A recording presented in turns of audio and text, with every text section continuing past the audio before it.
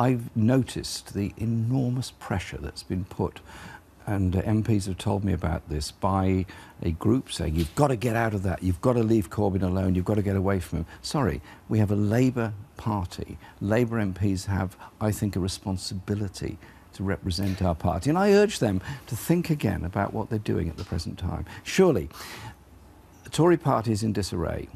Unemployment is rising, inflation is rising, the pound is falling, sure. jobs are closing.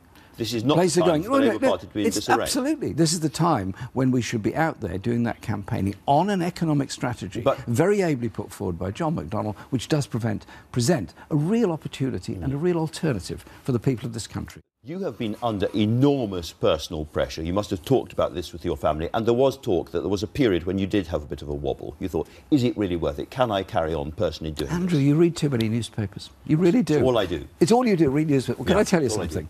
There's no wobble. Asking, is it true? There's, no, absolutely untrue. Mm. There's mm. no wobbles. There's no stress. There's no depression. I'll tell you what real stress is.